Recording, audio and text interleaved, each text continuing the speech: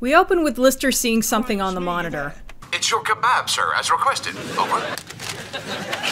Oh my god, how would you even eat that?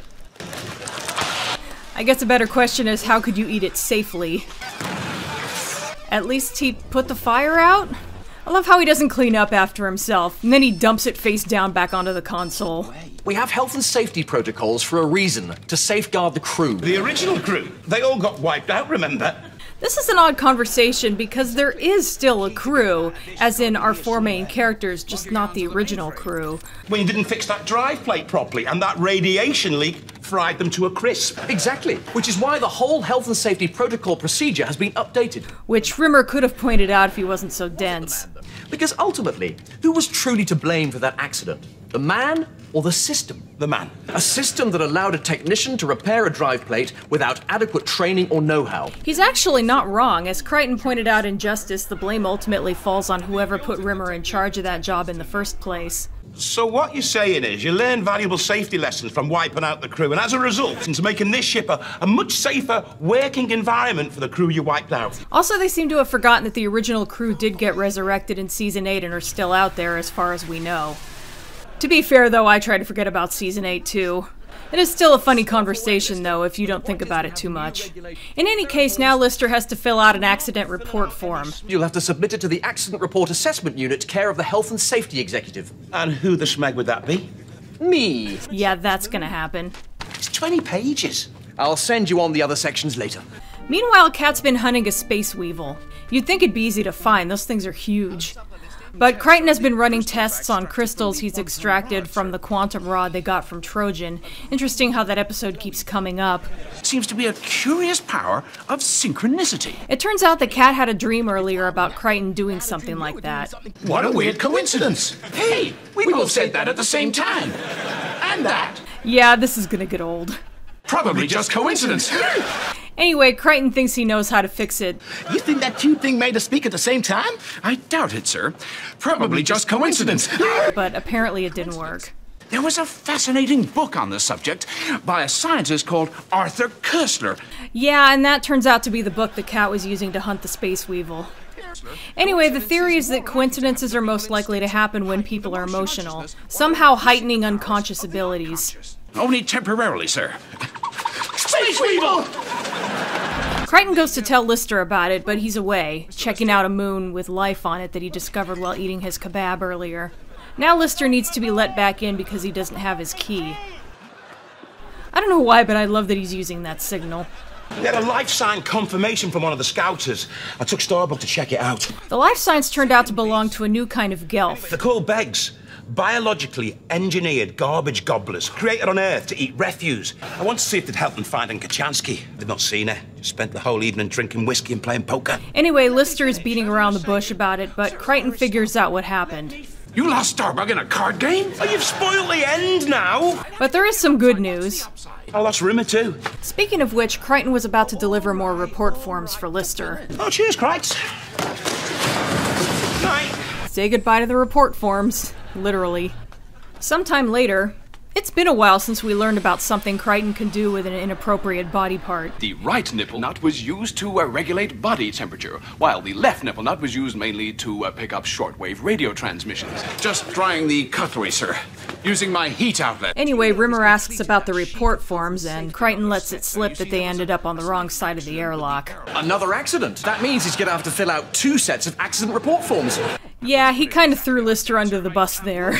Was an airlock accident risk assessment form completed before he opened the airlock? That may have been overlooked, sir. Well, that's another set of forms he's gonna have to fill in. Okay, I just want you to notice that Rimmer sets down this box of files and then walks off and leaves it there. So Rimmer goes to talk to Lister about what he did regarding the accident report forms. I have to say I'm disappointed, but not the least bit surprised. And of course, Lister thinks Rimmer is talking about the card game. Look, let me say right off that I'm truly sorry, I really am. Lister is surprised at how well Rimmer is taking this, and Rimmer is happy that Lister is taking things so seriously. Listy, I have to say, I think you've finally become the vending machine third technician of my dreams. It's cute. What's this? The accident report forms. I haven't got time to waste twatting about with that. Now it comes out. Uh, Mr. Lister gambled you in a poker game, sir, and I'm afraid to report He lost you. You lost me in a poker game? Like I'm some kind of thing to be lost? In a poker game? Rimmer thinks they can just cut their losses with Starbug and just get out of there. But there's one problem with that. Uh, that's a groin exploder, sir. If I don't make good on me debt, and this thing is going to propel my love spuds to the far reaches of deep space. Man, those begs don't fuck around. It's rigged to blow if I tamper with it. I have to say, I'm taking no pleasure from this. No, wait. In fact, that's completely wrong. I'm taking immense pleasure from this. Kryten points out that if Lister dies, Rimmer will get shut off, since his main function is to keep Lister company. You're both sort of connected. Like we are. What a coincidence!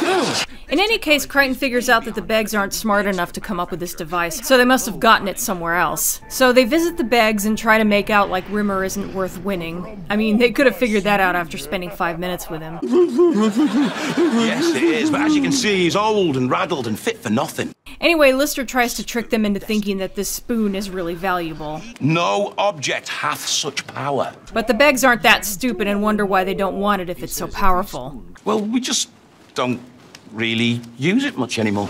Also, the Beg leader speaks English. If it pleases, maybe we will play cards again, and perhaps you will win back your hologram and your ship of green. But if they lose, the Begs are going to get Kryten and Cat as well.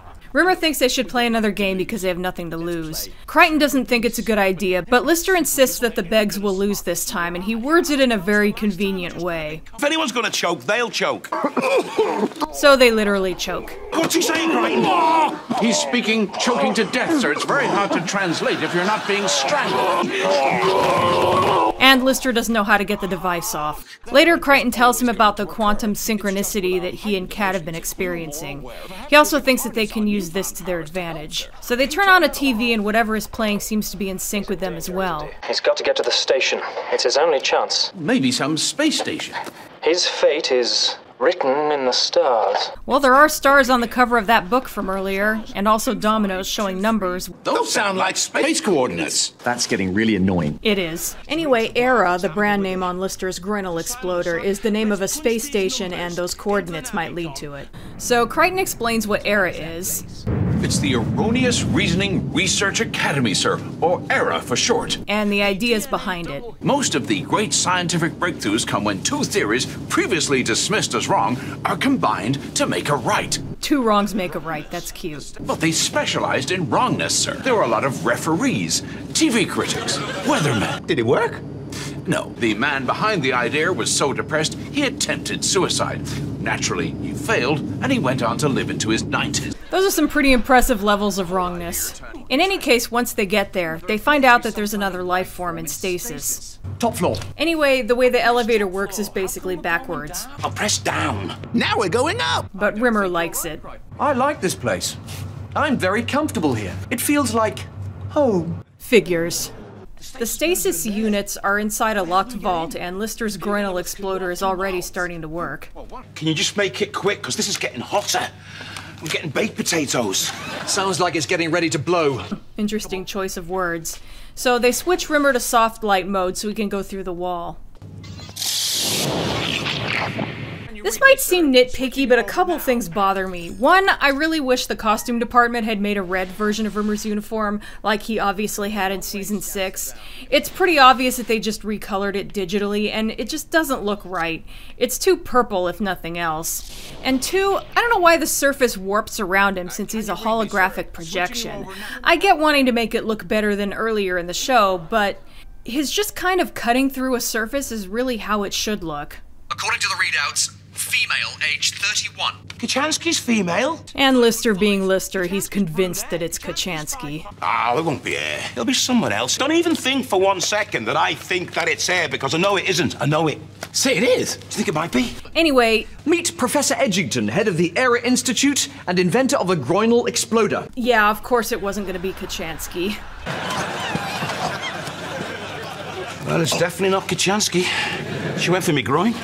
So, back on Red Dwarf, they're talking about how Dr. Edgington was trying to perfect evolution, testing it on herself, and naturally it caused her to de evolve. Also, I love how her notes include a diagram of a banana. Anyway, Kryten has the machine she used, so he should be able to reverse engineer it to change her back. If we can evolve her back to her human form, she may be able to help us. And it worked. So, here's Dr. Edgington. Call me Irene or Professor E. No points for guessing that she would be a stereotypical ditzy blonde. Mr. Rimmer. I've always been attracted to the brave, silent types. I mean, that's pretty much all you need to know about her right there. Despite my snark, I do like her. She's kind of an adorable little dingbat. Yeah, can you, um, help me get out of this? Also, her glasses are upside down. Five symbols. We have to turn them off in the correct order. What happens if we choose the wrong ones? Absolutely nothing. It's all perfectly safe. Oh, God. Basically, they have to do the exact opposite of whatever she suggests. Alpha, no beta, or delta. Delta or gamma. The only one Professor E hasn't mentioned is theta. So they do that, and it works for the first three. But once they get to the last one, they realize something. Her name's Irene, and her nickname is Professor E. Irony. Wouldn't it be ironic if a professor known for being wrong finally got something right? Make it stop. So they end up going with the one she suggested for the last one, and. Lister's love spuds will remain intact. Later on, Do you think it would be wrong for us to make love on our very first evening together? incoming rimmerism. I've given this much thought.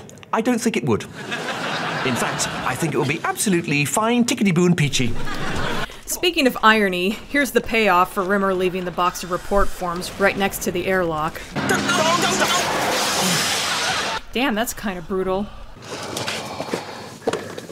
You got a pen? And so ends Entangled. If forced to pick a least favorite episode of season 10, it'd probably be this one. It's not that it's bad, it's just maybe the least good of season 10, which is still pretty damn good overall. I think it just doesn't stand out like the first three did. Trojan had Howard Rimmer, which was amazing. Fathers and Sons had Lister getting drunk and arguing with himself via video, and that was hilarious. Not to mention Pre. Lemons had Jesus, twist notwithstanding, which was funny on its own, plus it had a bit of depth with how it took a critical look at Christianity. And after all that, this one doesn't really have anything big in it to make it comparable to those. So I guess it's a bit of a lull in the season, but again, I still think it's good. Technically, this episode is kind of a mess. A lot of scenes had to be filmed later without the audience, and they had to use a leg model for this scene because they hadn't cast Dr. E yet when they filmed it. I can't confirm this because I don't remember where I heard it and there's no mention of it in the making of documentary, so it may just be wrong. But I've heard that Kochanski actually was supposed to show up here, hence all the talk of her. I mean, if the Rod can bring in Rimmer's long lost brother from three million years ago, why not Lister's love interest who disappeared only a few years ago? It definitely would have made sense within the context of this episode. But honestly, Lister going on and on about Kochanski is funnier that way. It feels like a running gag rather than foreshadowing, so it still works. Either way, whatever happened along the way, this episode comes together nicely, so we don't end up with a repeat of Pete. I do like how there was so much talk of coincidences, and the way everything comes together with that is really clever, especially with how they managed to harness it and use it to their advantage, not to mention irony. Speaking of which, I got a kick out of Irene. She was cute as a button, and she and Rimmer made a cute couple for the all of about five seconds they spent together. SF Debris said that having her end up flushed out of an airlock for laughs was a little too mean spirited. I can see that, but at the same time, I kind of get a kick out of how unexpected it is if you don't think about it too much. Just try not to think about that one scene in Guardians 2, or Event Horizon for that matter. This is one of the newer episodes that uses some ideas from the unmade episode Identity Within, namely Lister losing Starbug in a card game against a new race of Gelfs. They even sound like the Gelfs from Identity Within. Billy Swags and two more. Ger tuta swirboy T dadido pifren. When I covered Identity Within, I got a surprising number of comments where people said, I don't know why they couldn't just make the episode now. Well, aside from the script already having been released to the public, this and Can of Worms is why. It's basically pointless to make it an episode at this time. Speaking of the Begs, their leader is actually played by the same guy who played the Gelf Bride in Emohawk. No Ainsley Harriott at this time around, though. By the way, I feel like they've vastly improved on the costumes of these Gelfs compared to the Kinitawowi Gelfs. Also, for what it's worth, I thought the guy in the chimp costume was really convincing. Well, I guess that's about all I have to say about this one. The quote unquote worst episode of season 10 is still pretty much a win in my book. Next up is Dear Dave. See you then.